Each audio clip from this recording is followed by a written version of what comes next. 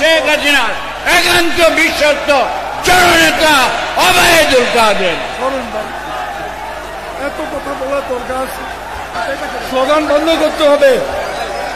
Slogan বন্ধ। তা নাহলে আমি কথা বলব না। স্লোগান বন্ধ করতে হবে। আমি না কথা বলব না। স্লোগান বন্ধ করো। এই তুমি বন্ধ করো। এই, কে? দেখো তো।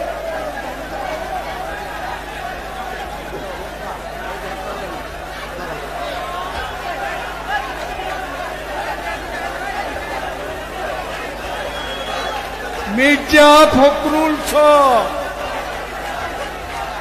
বিএনপি নেতারা বলেছে